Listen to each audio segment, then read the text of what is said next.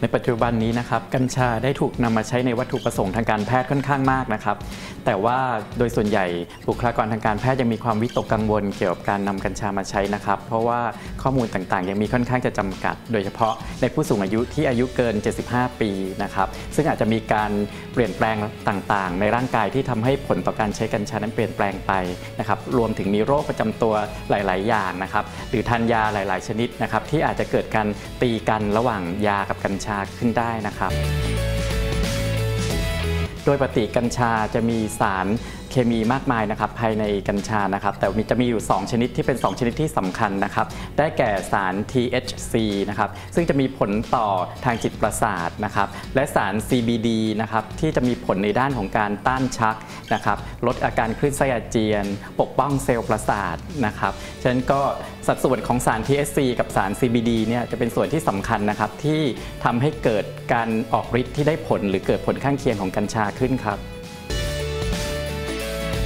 สำหรับข้อมูลการศึกษาของกัญชาในภาวะสมองเสื่อมในคนนะครับ มีงานวิจัยออกมา 2 แบบ งานวิจัยชนิดที่1นะครับเป็นงานวิจัยแบบเปิด แบบเปิดก็คือว่าผู้เข้าร่วมการวิจัย ผู้ดูแลผู้ป่วยตลอดจนแพทย์นะครับผู้ทำการวิจัยเนี้ยจะทราบว่าผู้ป่วยได้รับกัญชาอยู่ในการรักษานะครับ พบว่าผู้ป่วยที่ได้รับกัญชานั้น จะมีอาการทางจิตประสาทที่ดีขึ้น โดยเฉพาะอาการพรุ่งพล่านกระวนกระวาย อาการนอนไม่หลับในตอนกลางคืนนะครับสำหรับงานวิจัยประเภทที่ 2 นั้น เป็นงานวิจัยที่มีการสุ่มผู้ป่วยนะครับ แล้วก็มียาหลอกนะครับเป็นยาที่เปรียบเทียบว่าผู้ป่วยที่ได้รับกัญชา และผู้ป่วยที่ได้รับยาหลอกนะครับผลต่างกันหรือไม่นะครับ โดยงานวิจัยแบบนี้นะครับผู้ทำการวิจัยผู้ป่วยและก็ญาติของผู้ป่วยนะครับก็จะไม่ทราบว่าผู้ป่วยอยู่ในกลุ่มไหนสำหรับผลของการศึกษาแบบนี้นะครับ พบว่า บางการศึกษานั้นออกมาว่างานกัญชานั้นอาจจะช่วยนะครับผู้ป่วยนะครับ แต่บางการศึกษานั้นพบว่ากัญชานั้นไม่ได้ช่วยผู้ป่วยนะครับ ผู้ป่วยที่ได้รับกัญชา และได้รับยาหลอกเนี่ยผลออกมาเนี่ยเหมือนกันนะครับไม่ต่างกัน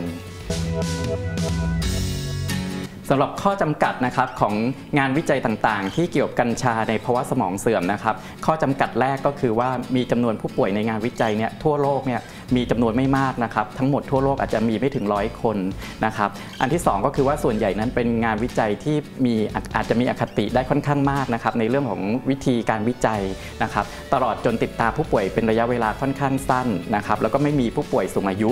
สักเท่าไหร่นะครับที่อยู่ในงานวิจัยเหล่านี้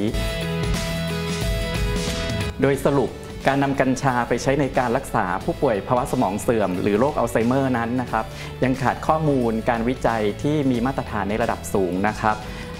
แต่อย่างไรก็ตามนะครับคงจะต้องมีการศึกษาเพิ่มเติมต่อไปถึงประโยชน์ และโทษเฉพาะในกลุ่มผู้ป่วยสมองเสื่อมนะครับว่าจะได้ประโยชน์ชัดเจนดีหรือไม่ ในปัจจุบันนี้สมาคมที่เกี่ยวกับโรคอัลไซเมอร์ และโรคสมองเสื่อมทางสมาคมต่างๆนะครับยังไม่แนะนำนะครับให้มีการใช้กัญชาในการรักษาภาวะสมองเสื่อมและโรคอัลไซเมอร์ครับ